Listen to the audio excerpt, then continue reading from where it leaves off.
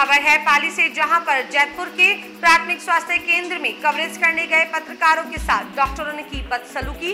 पत्रकारों ने उपखंड अधिकारी को सौंपा ज्ञापन।